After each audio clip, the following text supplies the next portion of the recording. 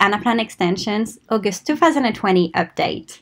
In this video, we will talk through what's new this month and see some key functionalities in version 4.0. This version focuses on a revised upgrade experience and remapping a connection.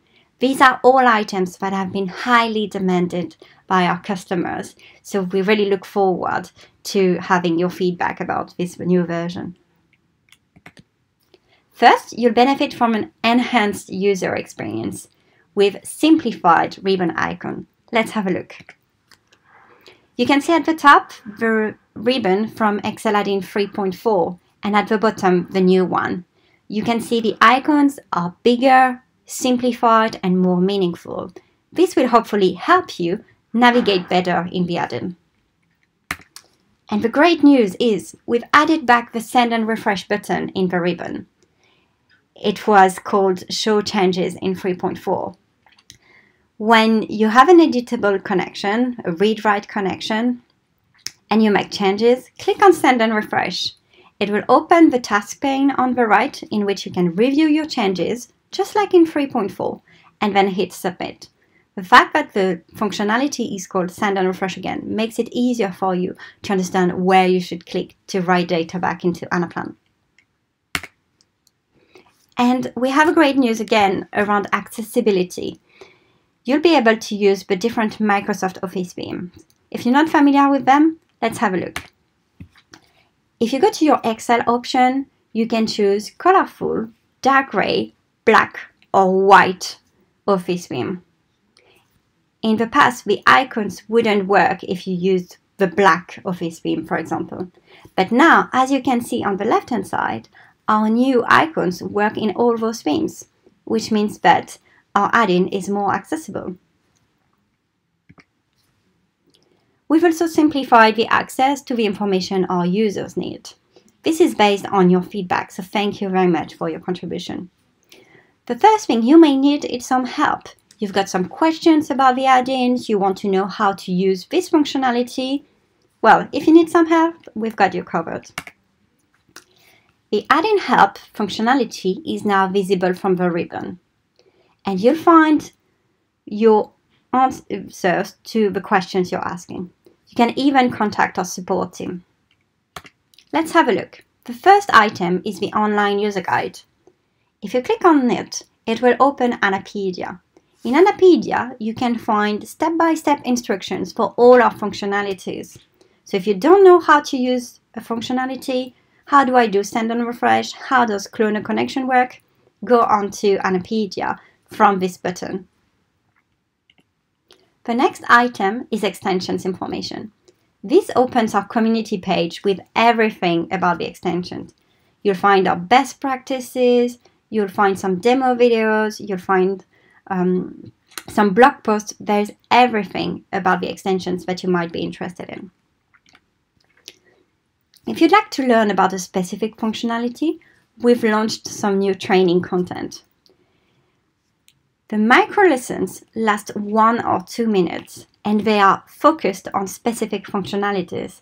For example, installing the add-in and signing in, or remapping a connection. You'll be able to watch a short video that gives you exactly what you need on a particular topic and there are more videos to come. The next item is Ask the Community. This opens the forum on community. You can just browse the forum and maybe somebody else has asked the same question that you're asking before. Or you can ask your question or start a topic. You can use the label extensions to enable us to and your and other users to find the content uh, more easily. You need a community account to be able to post on the forum. You might have seen that the final option in this add-in help is the ability to email support. When you click on this button, it opens an email that is pre-populated with technical information. You don't need to find this information, where is the log file, how do I find which version I'm in, it's all pre-populated for you. In addition, there are some simple questions to answer. This will help our support team to narrow down your concern and hopefully help to resolve your case faster. Also, if you've got specific company policies when you have issues with the add-in, you may want to follow those policies. For example, that may include copying your company help desk in the email. We really look forward to see the impact of this new functionality on the time it takes to resolve a case. So thank you very much for your contribution in populating this email. Finally, lots of people have expressed the that they wanted to provide feedback. The great news is we've introduced this in Excel Add-in 4.0. You've got a provide feedback button directly into the ribbon, which makes it super visible for every user. And this feedback goes directly to the development team. The first item opens our extensions feedback group on community. If you're not a member, you need to create a community account and then you can request to join. Your access is generally approved within a few days. Once you're all in, you'll find activities that you can participate into. For example, you may be asked for your opinion on something. It will probably only take two minutes to give your feedback. And we also run some usability testing and other feedback sessions, so feel free to join. The next item opens the idea exchange. You can just browse the existing ideas and vote for them, or you can post your own idea. You can even track the status of ideas to see if your idea is in the roadmap and when it's been delivered. Again, use the label extensions to facilitate the search. The final item is our user research program. This is not specific to the extensions. This is a global Anaplan program about all the products. You don't need a community account to join. And if you'd like to participate into usability testing, focus groups, surveys about any product in the, in the Anaplan world, then just uh, fill in the questionnaire. One of the main concerns for the users in previous versions was to be able to upgrade seamlessly from one version to the other.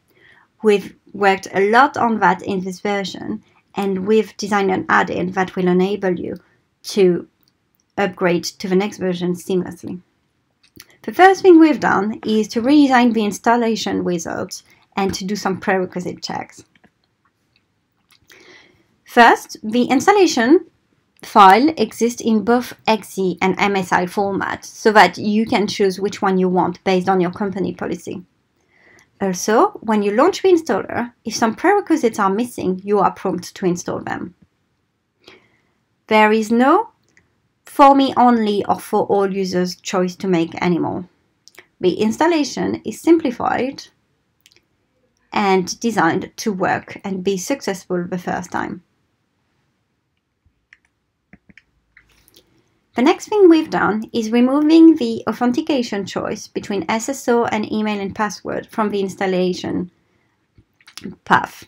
Now it is directly into the add-in. This is what it looks like. You can sign in either with email and password or single sign-on. And if you're a partner and you need to switch regularly between one or the other, that makes it so much easier for you.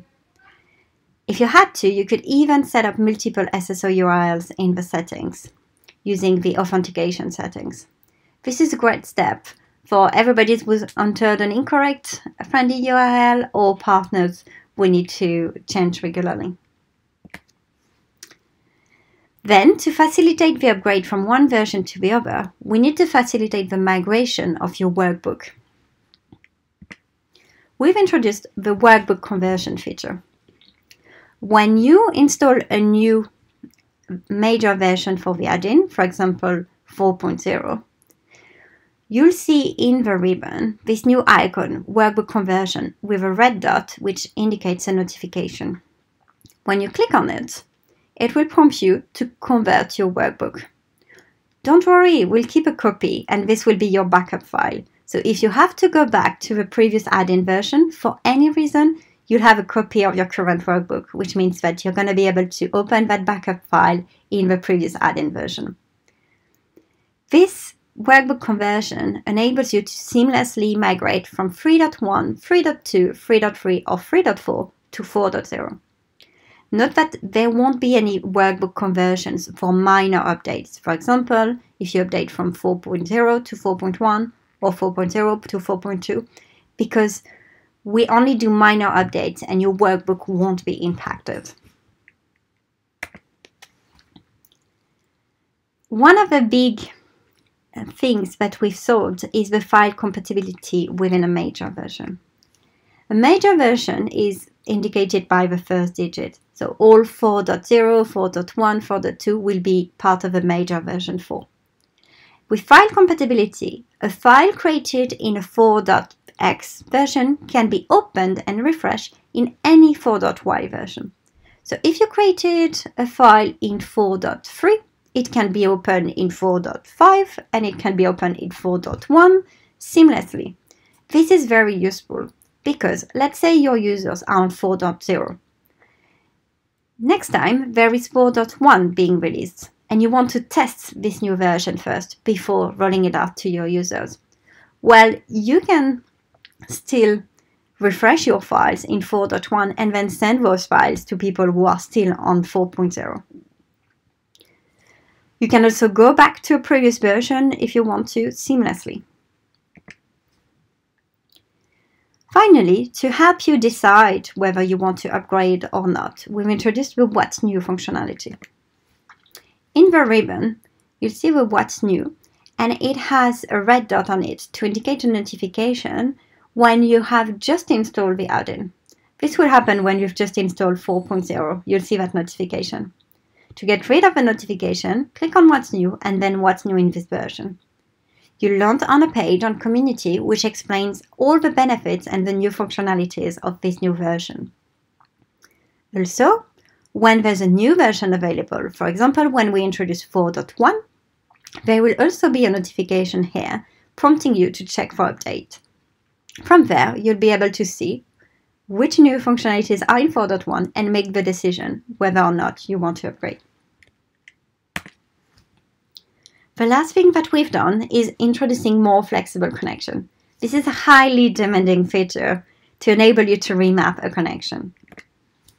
The most common use case will be if you've created a connection from your uh, to your development model and you want to remap it to your um, production model. It can be different models, it can be different models in different workspaces, you can remap them. It's very easy. Just open the spreadsheet in which you've got your connection and click on remap. Then you'll see that model with your current connection and you just have to remap to your new connection. Just remember to press refresh after this to update your data. Thank you very much for your attention and we hope you enjoy the new features in 4.0. If you've got questions, ask in the forum and we'll be happy to help. And if you'd like to give us feedback, um, you've got all the tools in the add-in now to do this. Thank you very much.